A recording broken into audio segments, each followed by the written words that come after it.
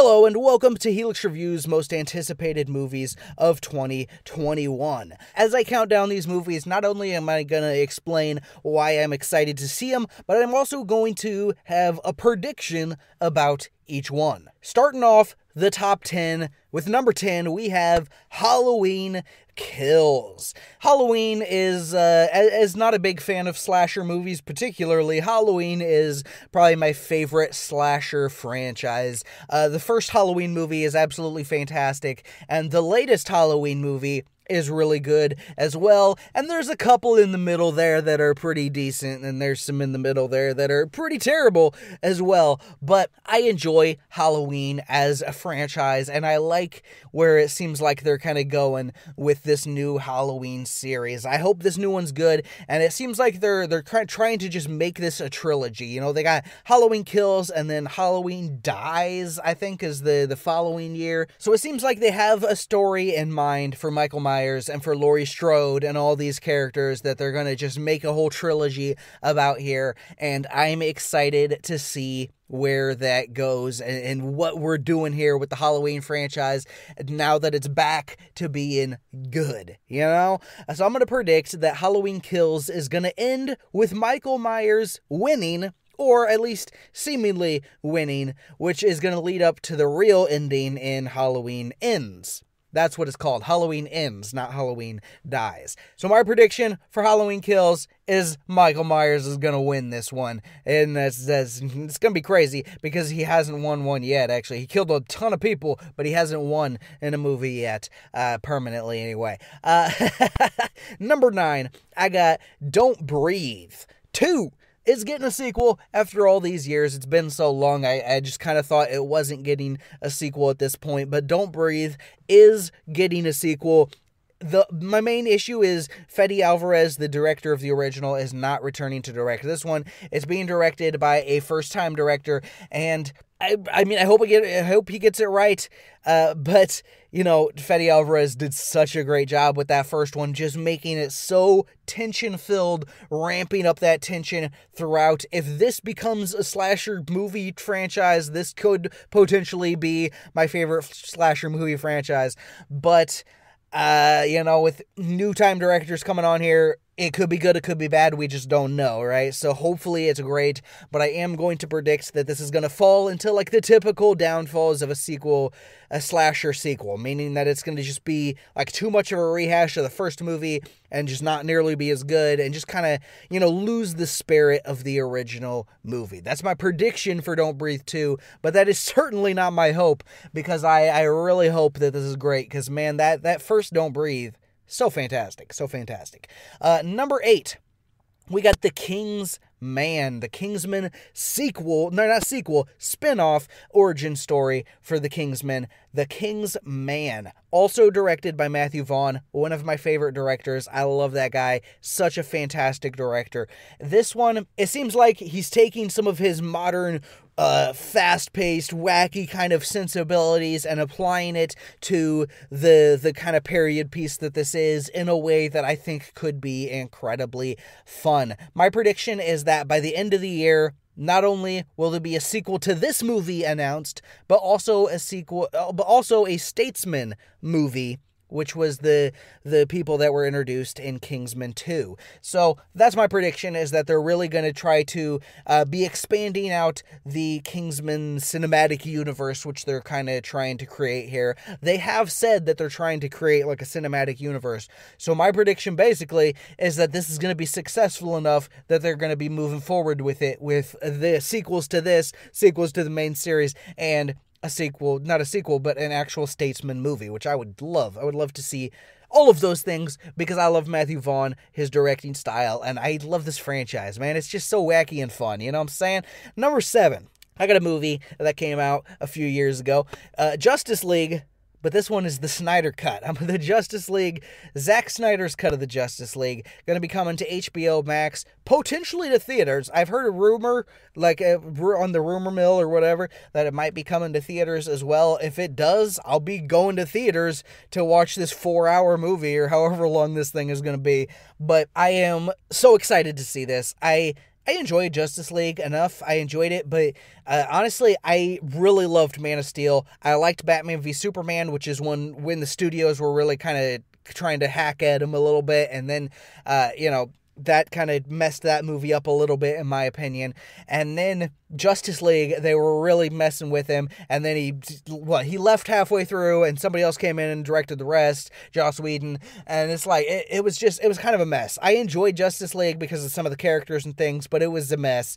And I really want to see Zack Snyder's vision. I think Zack Snyder is an underrated, fantastic director, and I want to see his vision of Justice League, and I'm extremely excited that we're finally getting to see the Snyder Cut, this thing that people have been campaigning about for years. But I, I honestly, I never thought this was going to happen. And if it wasn't for the coronavirus, I don't know that it would have happened, you know, because everybody's stuck in their homes due to, you know, government out- overreach and all this kind of stuff. And so it's like, oh, now we can we can take these things that we already have and actually kind of build this movie that people want to see with out having to go out and film too much more. I think they ended up going and filming some more stuff for the Snyder cut. But either way, dude, I am extremely extremely excited for the Snyder cut of Justice League. My prediction is that I'm going to like this better than the theatrical cut, but general audiences slash reviewers and people will more or less have about the same reaction as they did about Justice League originally, which is like, yeah, it's okay, it's it's decent, it's fun enough or whatever, but it's not great. That's honestly that's that's kind of where I think a lot of the reaction is going to end up being for the Snyder cut, but I think I'm going to love it. I think I'm going to like this way more than the real version or the theatrical version, let's say, of Justice League. Uh, number six, Black Widow. Man, it seems like this movie should have come out ages ago, but I mean that's that's the case with 2020 and all that, I guess. Uh, this movie looks great. Scarlett Johansson finally, you know, getting her own movie, being Black Widow for so long. Now she finally gets to have, you know, the Black Widow movie, and it looks great. It looks cool. I really think this should have come out before Endgame, but it, it looks cool, and I, I can't wait to see it. I, I love some of the stuff they're building in here. I think you know David Harbour looks really interesting in here. Uh, what's his name? Florence Plur. I don't remember her name exactly. I remember it's spelt very odd, and I don't know how to say her last name. But the girl that's the other, like Black Widow's sister, almost kind of uh, her comrade in arms or whatever the other black widow that seems to be a main character in the movie looks very interesting she's a good actress as well so i'm, I'm curious to see what they're going to do with her my prediction is that David Harbour, aka the Red Guardian, is actually going to be the real villain of the movie and not Taskmaster. Taskmaster is set up as the main villain, and he looks cool. I like I like Taskmaster as a villain and stuff, and so I I think him in a team up movie would be better to to show off all the different things that he knows how to do and all that kind of stuff. But putting that aside, Taskmaster is really cool, and he's a villain in the movie for sure. But my prediction is that David Harbour's character that the Red Guardian is going to be the real villain of the movie. They're kind of playing him up as the hero or as a good guy in the movie, but I, I think he's going to be the real villain of the movie ultimately when it comes down to it. Also, I predict that uh, her death in Avengers Endgame would have been way more impactful had this movie come out first instead of two years later because it's freaking stupid. Uh, anyway. Number five we got Morbius, the living vampire, as it should be called, but it's not. Morbius. Uh, this character is great. I love this character in the comics, and I am very excited to see what they do with him in the movies. Jared Leto, I think, is an interesting choice to play the character, and I think there's a lot of potential for an extremely cool movie here. And I I'm excited. I think the trailers look great. I think it looks great. I I can't wait for Morbius. I loved Venom. I I loved Venom. I thought that was awesome, and uh, you know I know it kind of had somewhat mixed reviews, but I I thought it was awesome. And so more in that vein, more in that Sony Marvel universe, whatever they're cooking up there. Yes, please. I'm on board. I love Morbius. Morbius is a cool character. My prediction is that Venom and slash or Spider-Man is going to have a cameo in this movie kind of expanding out that you know Sony Marvel Spider-Man universe kind of thing even more. Uh, so that's my prediction. We'll see if it happens. We already know that uh, that Vulture is going to be appearing in there. You know, I don't know if that'll just be a cameo or what that'll be, but that's that's interesting. Uh, number four, the Suicide Squad. Okay, James Gunn directing Suicide Squad, taking over for David Ayer. Uh, I I enjoyed the first Suicide Squad. The extended cut, by the way, is better than the theatrical cut of Suicide Squad. That said, release the Ayer cut because I do want to see David Ayer's real cut of Suicide Squad, much like we're gonna see the real cut of Justice League. I'm extremely, I'm extremely excited for that, and I, I hope that that. I hope that the success of the the Snyder cut, assuming it's a success, is enough to to push Warner Brothers into making the Ayer cut of of Suicide Squad. Anyway, I enjoyed Suicide Squad because it got some of the characters right and did some cool things with that. This movie, hopefully it does that, but also gives us a better story, tightens some things up, and, and gives us some better writing and some things that were messy about that first movie. The Suicide Squad is huge in this movie. Like counting the members, there's like 16 confirmed Suicide Squad members with some high profile actors in here that are in unnamed roles. Like Sylvester Stallone, Taika Waititi are in here and just, you know, we don't know what they're doing in this movie, but they're in this movie, uh, which is awesome. By the Sylvester Stallone's in here. Yes, that's cool. That's so weird. Uh, so my prediction is that only five members of the Suicide Squad will survive. So, c- c- cutting it down from 16 to 5 because I, I, think people are going to be dying all over the place. There's people dying on the ceiling. There's people dying in your attic. There's people dying everywhere in this movie. Uh, they, they're going to live up to the name, the Suicide Squad. This is my prediction of the five people that's going to survive. So, number one, Harley Quinn. Obviously, DC is not going to kill off Harley Quinn. It's just not going to happen, at least not this soon. Uh, number two, Rick Flag, I think, is going to survive to lead another team. So he's going to survive. Number three, Captain Boomerang. You know, for some reason, I could see this character sticking around for a lot of these movies. So Captain Boomerang's my guess. Or he could just be killed off the first guy to die. You know, I, I don't know. Maybe, maybe not. Uh, number four, Bloodsport because he's being played by Idris Elba, you know, and and if they're getting Idris Elba, maybe they have a bigger role for him in the future or something. I don't know. But then again, they could get a big actor and then kill him off to be like, whoa, look at that. Oh, I didn't expect that, did you? Whoa. Uh, anyway, and uh, number five, I'm gonna say Weasel, just because uh, you know to have someone kind of random and weird in there. So Weasel's gonna survive too. Uh, so the Suicide Squad. I'm very excited for this. I love this team, and I I love that they just got this big group of Suicide Squad members, and I think James Gunn is just gonna kill off a ton of them, which is great because that's what the Suicide Squad should be about. You know, it should be doing that, cycling through tons of characters and stuff, and I I can't wait for this movie.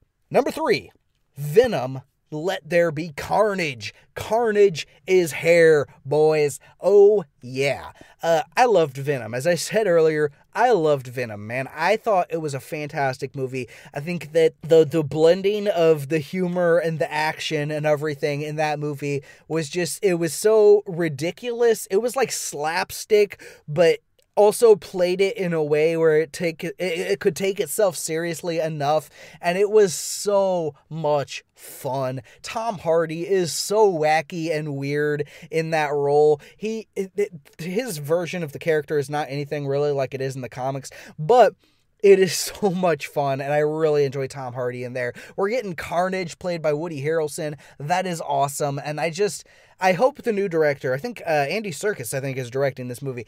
Uh, I hope the new director can capture the magic of the original movie. I know it was again, it was so much mixed reviews, but I hope he captures the magic that I saw in that first movie and just have more of that awesomeness. I I loved Venom. It's so great, man. I should I need to watch that movie again. You know, it's so good. Uh, my prediction for Venom is that they're gonna tease Hobgoblin for the next villain mainly because I want Hobgoblin as a Venom villain. I think he would be a cool villain for a Venom movie. Number two, we got The Quiet Place 2. This was, I think, this was my number one most anticipated movie uh, for 2020. But of course, the, it, it was supposed to come out very shortly after COVID started and all that kind of stuff. And so it got bumped way up to this year sometime. So uh, we'll see how.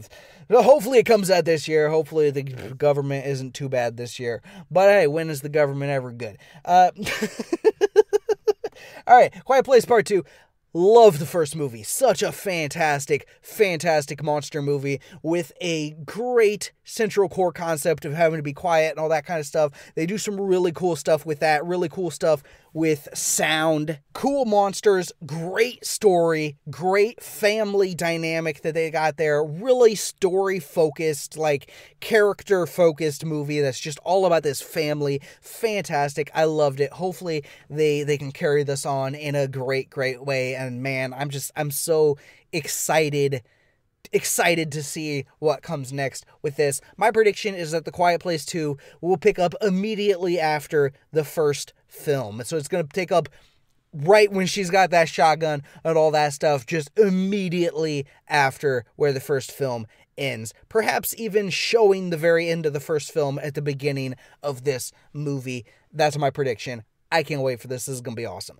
Number one, my most anticipated movie of the year Spider Man 3, aka Spider Verse, it sounds like, because they're bringing back friggin' everybody, man. They're bringing back Andrew Garfield as Spider Man, apparently. They're in talks with Tobey Maguire to bring him back as his version of Spider Man, apparently. Uh, what's his name? Alfred Molina is coming back as Doc Ock. We got Jamie Foxx coming back as Electro. We got all these characters from other Spider Man movies all coming together for what is probably, I assume, going to be the Spider Verse, live action Spider Verse movie that we've always wanted, or I've always wanted. I always thought this would be amazing and so cool and i'm so glad that it seems like that's what they're going for this time potentially this could be a way that uh, this peter parker ends up in an alternate universe where he's not connected to the mcu movies anymore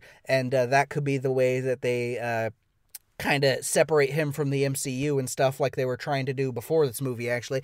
But either way, oh my goodness, I am so incredibly excited for Spider-Man 3 and everything that they're doing with this. Like I was already excited. Spider-Man is my favorite character of all time of of you know, my favorite fictional character of all time.